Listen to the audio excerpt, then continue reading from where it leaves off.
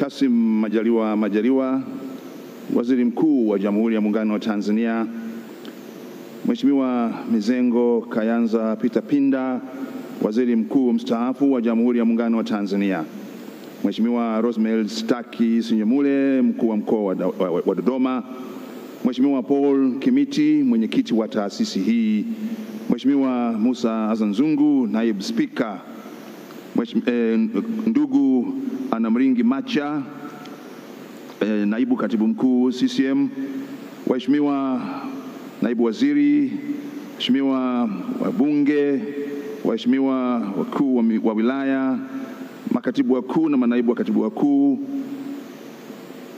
viongozi wa vyombo vya ulinzi na usalama, viongozi wa jadi na dini na waalikwa wote, mabibi na mabwana, Jamhuri ya Muungano wa Tanzania.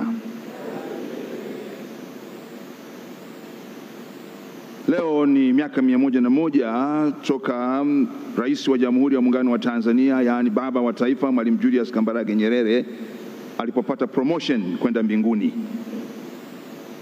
na ni tukio muhimu kwetu leo hapa.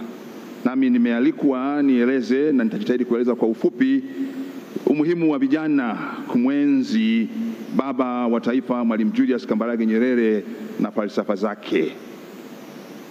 Onyesho ambalo limeonyeshwa hapa na vijana limenikumbusha hotuba moja ambayo mwalimu aliitoa wakati tayari amekwisha ng'atuka katika nafasi ya rais wa Jamhuri ya Muungano wa Tanzania. Nayo ni hotuba yake inayoitwa Nyufa, na nadhani ni muhimu eh, baada ya onyesho hili eh, mara kwa mara kuirudia ile hotuba ya mwalimu ya Nyufa ili kuepuka hizo nyufa kuongezeka na ikiwezekana eh, kuziziba kabisa.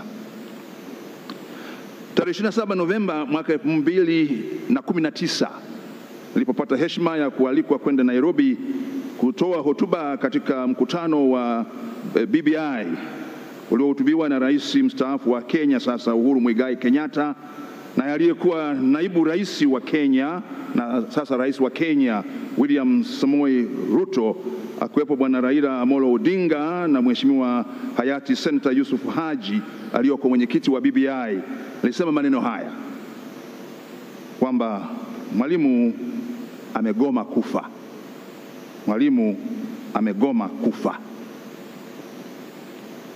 Ni ukweli usiopingika.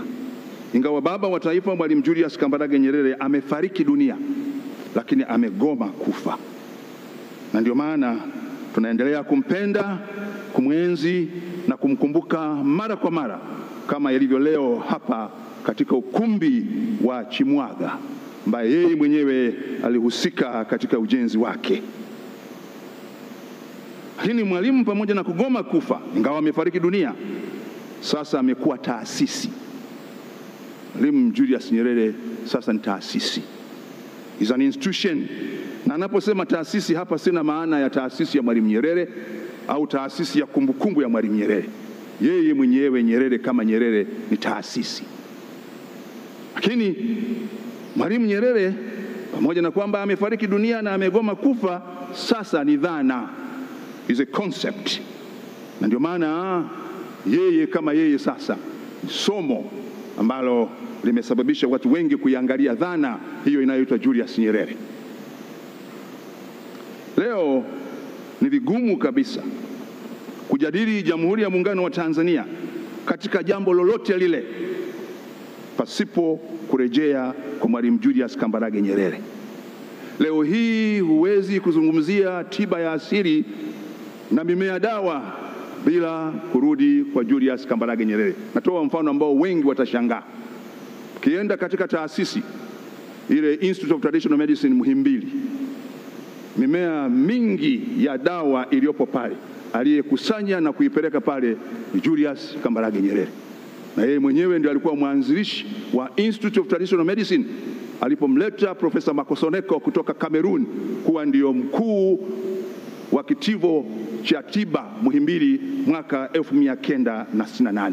Ndio maana nasema leo jambo lolote lile zungumze kuhusu Tanzania ni vigumu kuto kumtaja Mwalimu Julius Kambarage Nyerere. Kwa mantiki hiyo, umuhimu wa kumwenzi Nyerere na hasa kwa vijana hautokani tu na kwamba yeye alikuwa rais mwanzilishi wa taifa letu na baba wa taifa letu, lakini pia kwa falsafa zake, misingi aliyoiweka na yale aliyoyatenda wakati wa uongozi wake na alipong'atuka katika uongozi wa taifa letu kwa hiari yake mwenyewe. Najua ya falsafa yataelezwa na Profesa Kusiluka na Bwana Rioba, Dr. Rioba, lakini kwa vijana, maana nimeambiwa nilenge kwa vijana. Mwalimu alifanya kazi zake zote akiwa kijana, hata alipong'atuka urais alikuwa bado kijana. Kwa maana hiyo, umri wangu leo mimi na umri mkubwa zaidi kuliko Nyerere alipong'atuka urais. Nyerere katika umri wa miaka thelathini na miwili alichaguliwa kuwa rais wa tano, umri wa miaka thelathini na miwili akiwaongoza watu wa umri mkubwa katika jiji la Dar es Salaam na sehemu nyingine. Lakini Mwalimu Nyerere alikuwa chief minister mwaka 60 akiwa na miaka 38 na Mwalimu Nyerere alikuwa waziri mkuu, na watu wengi wanadhani Mwalimu Nyerere alikuwa waziri mkuu tarehe 9 Disemba. Hapana, Mwalimu Nyerere alikuwa waziri mkuu tarehe moja Mei mwaka 61 baada ya mkutano wa katiba uliofanyika Dar es Salaam, na ambaye alikuwa waziri wa makoloni Ian MacLeod alikuja Dar es Salaam kwa sababu Mwalimu alikataa kwenda Lancaster. Sisi ndio nchi pekee ya Kiafrika ambayo ilikataa kwenda kujadili katiba yake ya uhuru Lancaster, Uingereza, na badala yake ilifanyika Dar es Salaam. Na wazee wa Dar es Salaam hawakuamini kijana mdogo kumfanya Ian MacLeod katibu waziri wa makoloni kuja Dar es Salaam. Na jingine alilosisitiza siku hiyo, pamoja na bendera ya Waingereza Union Jack bendera ya Umoja wa Mataifa ipepee, kwa sababu Mwalimu alisema sisi sio koloni la Waingereza, sisi ni nchi ya udhamini ya Umoja wa Mataifa, a UN trustship territory.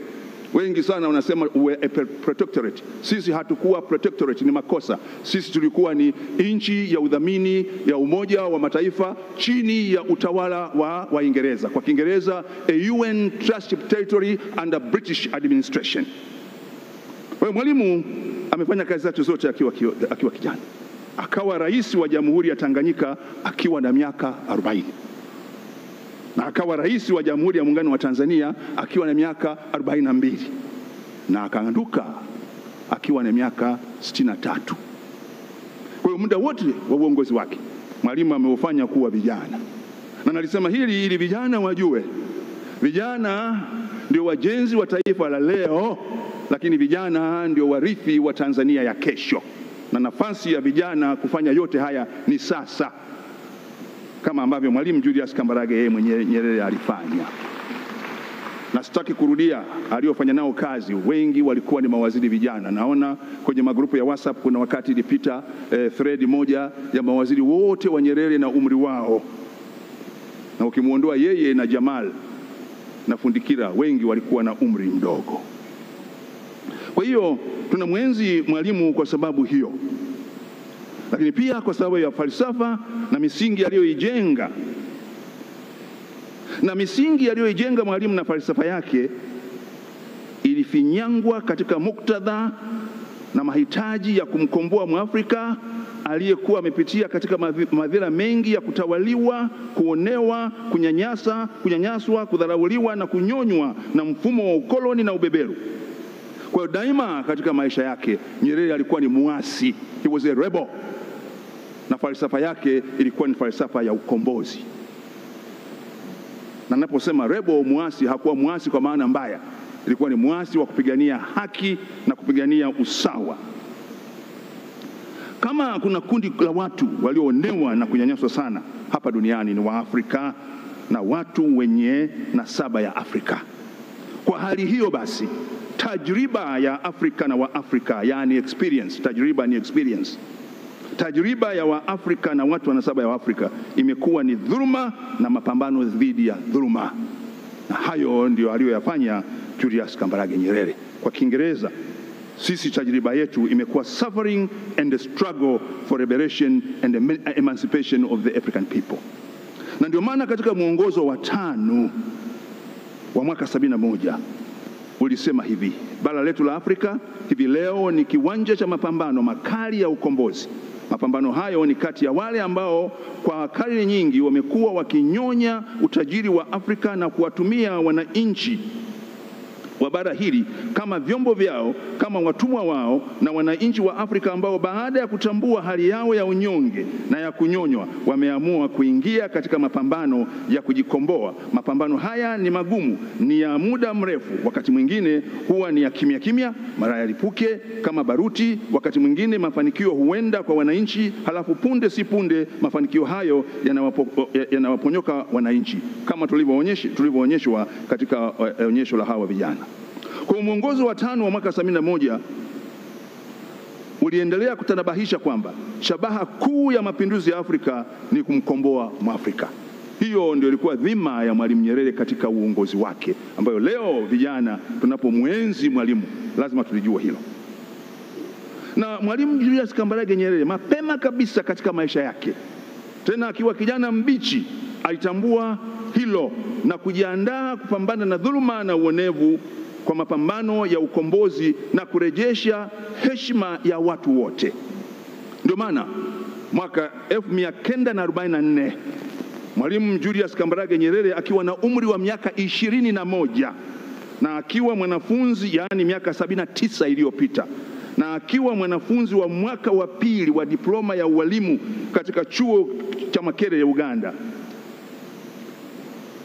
sababu aliingia Januari mwaka 43 aliandika insha ambayo leo ni kitabu kinaitwa Uhuru wa Mwanamke, na sasa kitabu hicho kimetafsiriwa katika Kiingereza kinaitwa Women's Freedom, Women are Eagles tie Not Chickens. Kimechapwa na Fountain Publishers Kampala. Katika dibaji ya kitabu hicho alichokiandika mwaka 1944 Mwalimu aliandika na nanukuu, ikiwa uhuru wa wanawake kitamaanisha kitaamsha mioyoni mwa Waafrika wenzangu hali ya kuwaheshimu wana, wanawake na kupenda kuzungumza jinsi watakavyofanya ili wawasaidie kutoka katika hali ya kutumwa ya kitumwa walionayo siku hizi kusudi langu la kuandika kitabu hiki litakuwa limetimia, hasa tukijitahidi wote kwa vitendo kuwafanya wanawake wawe sawa na sisi wanaume katika maisha yetu. Fikiria mtu wa miaka ishirini na moja wa umri wa miaka ishirini na moja mwaka 44 anaandika maneno haya ambayo yanaakisi kabisa hali ya sasa. Nimeleta hii kwa vijana ili mjue toka mapema kabisa Mwalimu hakupenda dhuluma, na leo tunazungumzia usawa wa wanawake, leo tunazungumzia haki ya wanawake, leo tunazungumzia kutambuliwa kwa wanawake. Mwalimu analiandika hilo katika umri wa miaka ishirini na moja miaka sabini na tisa iliyopita, tena kwa msisitizo mkubwa. Mwalimu hata akiwa kijana, kabla hajawa kiongozi alikabiliwa na jambo moja ambalo lilikuwa gumu kwake kuamua.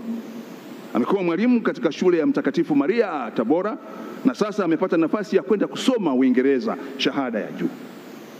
Akawa na mtihani aende kusoma masomo ya sanaa au masomo ya sayansi, kwa sababu nafasi aliyokuwa amepewa ilikuwa ni kwenda kusoma masomo digrii ya masomo ya sayansi, yani shahada ya masomo ya sayansi ya fizikia na kemia katika chuo kikuu cha Durham, Uingereza lakini yeye wakati huo aliamini kabisa masomo ya sanaa ndio atakayemsaidia kurudi na kuongoza mapinduzi ya kugom, na, na harakati za kugombea uhuru.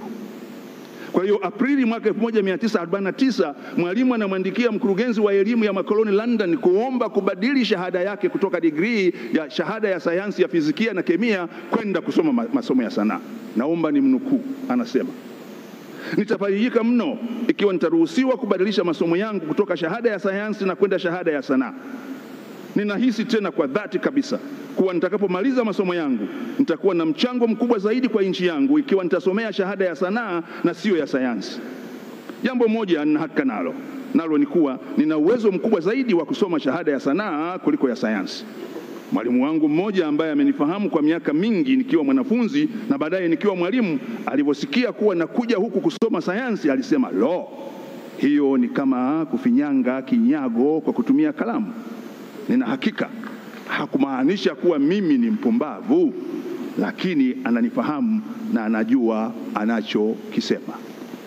Hicho ndicho kilichomfanya Mwalimu asiende chuo kikuu cha Durham kusoma shahada ya fizikia na kemia, na badala yake akaenda Edinburgh, Scotland, na akasoma shahada ya sanaa kwa lengo la kuja ili ku, ku, kuwa sehemu ya harakati za kuleta uhuru wa Tanganyika.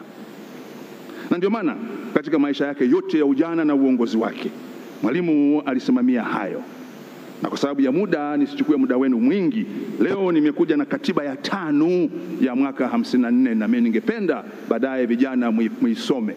Mkiisoma hii hamtaamini mtakayoyaona ambayo Mwalimu na wenzake mwaka 54 waliyaweka, na ndiyo hayo ambayo sasa yametekelezwa katika awamu zote, na sasa yanatekelezwa kwa kasi na awamu ya awamu ya sita inayoongozwa na Dr. Samia Suluhu Hassan, rais wa Jamhuri ya Muungano wa Tanzania. Kwa kifupi, mambo hayo ni yapi?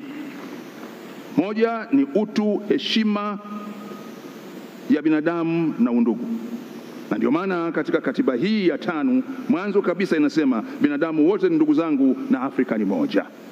La pili ni usawa, kupinga ubaguzi wa rangi wa aina yoyote ile na dhuluma, uwe wa rangi uwe wa nini. Na ndio maana nisichukue muda wenu, miongoni mwa shairi ambalo Mwalimu alilitunga lenye beti 19 linahusu usawa wa binadamu, na katika ubeti mmoja anasema watu ni sawa, nasema zingatia neno watu, siwapimi kwa vilema ambavyo ni kudhia tu, siwa, siwa, siwafari, siwafanidi kwa wema ambao ni tabia tu, lakini watu ni watu, mawalii na wagema.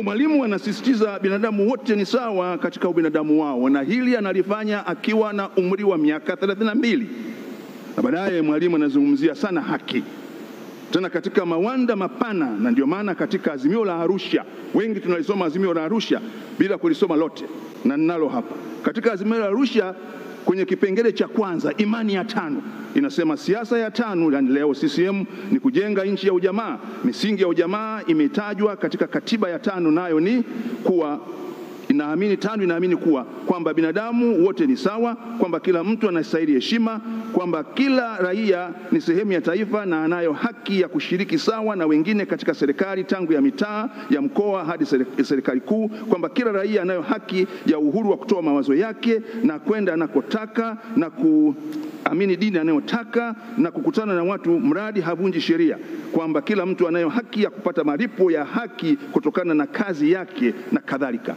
yamo ndani ya Azimio la Arusha. Wengi tumeliangalia Azimio la Arusha bila kurudi hiyo, na ndani ya Azimio la Arusha pia kuna sehemu ya imani ya tano, amin, madhumuni ya tano na leo nisiyarudie kwa sababu ya muda, na ndio hayo madhumuni ya tano na imani ya tano yalikuwa ndiyo utangulizi, yani wa preambo ya katiba ya mwaka 1977 na sasa ni ibara ya tisa ya katiba ya Jamhuri ya Muungano wa Tanzania. Mwalimu aliamini katika umoja na uzalendo, na hapa suala la lugha ya Kiswahili limesemwa, nisiseme mengi, na alikitumia Kiswahili kama nyenzo ya umoja na uzalendo. Lakini Mwalimu katika umri wake mdogo wa ujana alikuwa mwadilifu na alisisitiza uwazi na uwajibikaji, lakini pia alisisitiza uhuru na demokrasia. Kwa nini vijana tumwenzi Mwalimu Nyerere?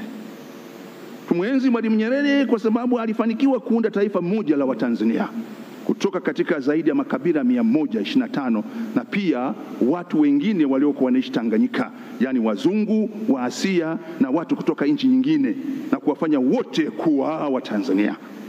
Na moja ya ushahidi huo, Mwalimu Nyerere katika muda wake wote wa uongozi, katika baraza lake la mawaziri alikuwa na wazungu, Watanzania wenye asili ya wazungu, Watanzania wenye asili ya Asia na Watanzania wengine, na ndio maana katika baraza lake la mawaziri aliwahi kuwa na wazungu wa Tanzania wazungu, Derek Bryson aliyekuwa waziri wa kilimo na mbunge wa Manzese, Dr. Lida Staring aliyekuwa anaishi Ukonga majumba sita, aliyekuwa waziri wa afya, Amil Habib Jamal aliyekuwa waziri wa fedha, aliyewahi kuwa waziri wa viwanda na biashara, ujenzi, uchukuzi na mawasiliano, na baadaye waziri wa nchi ofisi ya rais, ushirikiano wa kimataifa.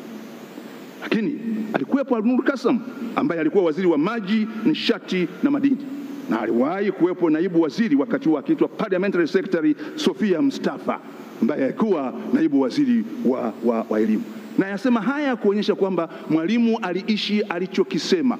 Aliwachukua wote waliokubali Tanzania kuwa nchi yao kuwa ni Watanzania na aliwapa nafasi katika uongozi na wako wazee wanaonizidi umri wengi sana walishangaa katika mikutano ya shirika la afya duniani kumwona Dr. Lida Starling ambaye wanamuona ni Mwingereza mzungu, lakini anawaambia mimi ni Mtanzania na ni Mtanzania ambaye haishi Oysterbay, anaishi Ukonga majumba sita.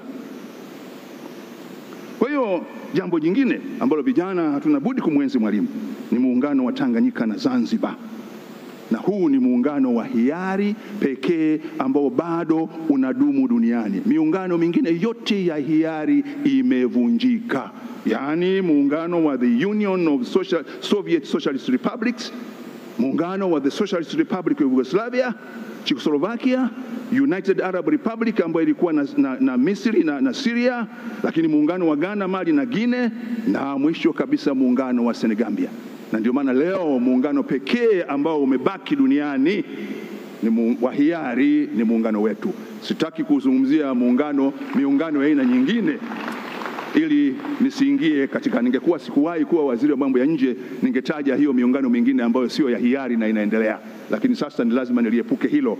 Lakini baada ya hapa naweza nikuambia nchi fulani, ule muungano sio wa hiari, ni wa mabavu na unaendelea, lakini ya hiari tumebaki peke yetu. Jingine vijana ambalo Mwalimu alilifanya na litaelezwa na wenzangu ni ujamaa na kujitegemea, na mimi nasema siasa ya ujamaa na kujitegemea katika muktadha wa sasa bado ni muhimu.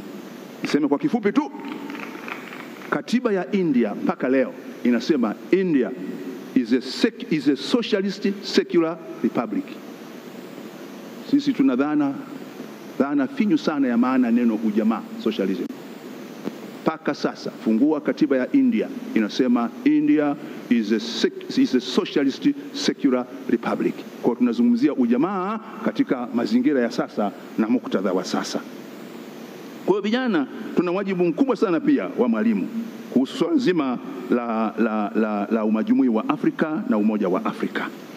Sasa wajibu wa vijana ambao ni wajenzi wa taifa la leo na warithi wa taifa la kesho ni kufanya yafuatayo.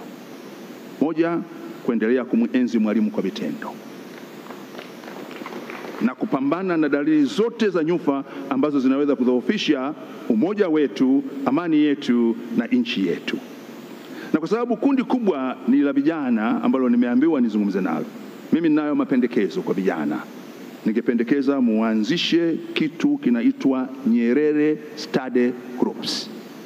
Nyerere Study Groups. Huko nyuma tuliyokuwa na, na tano study group, watu wa umri mkubwa wanajua.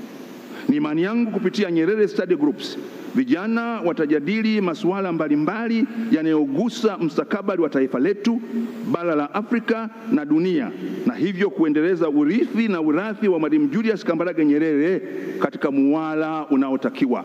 Muwala maana yake ni coherence, coherence katika muwala unaotakiwa.